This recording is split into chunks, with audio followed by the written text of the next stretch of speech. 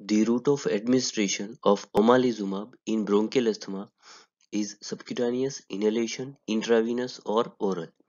Omalizumab is a humanized monoclonal antibody against immunoglobulin E, which is administered subcutaneously in severe allergic asthma and it is a very expensive drug.